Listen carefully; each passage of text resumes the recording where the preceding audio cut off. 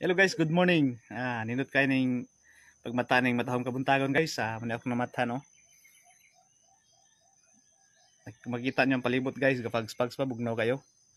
So kinahanglan jud ng nay kuano, nay kagakos in lugar ah. Pero wala man nagwanta lang sa balukot. So inana guys no, ang kalainan ang diferensya kung ang usa ka lugar imong palibot daghan pagkahoy. So sa among lugar nanawag akong asawa tunay adlaw nga ah, bisan pag naana daw sila sulod sa among kwarto kapaandar og aircon di gihapon kadawog ang aircon init daw giha, kayo gihapon. So kanadto daghan pa tong kalubian dito kahoyan. Ah, dili nadto daw kainit. Ah, labi na karon nga street ang init. Ah, mutaligsik ra gamay. Uh, mga mo na maka kuano hubas sa kasubaan kaning tabay. So inani garon guys so wala na kaapekto ang ting init dire kay bisan pag utong tutok pwede pa ko mag ah, balukot og habol.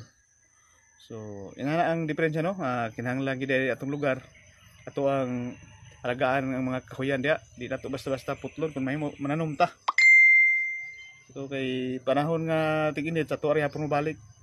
So nana no? Ang mga bata duay kay init ini sa panahon nga kautuhon kay bisan pag ah, isulod sa kwarto nga na aircon grabe singot gihapon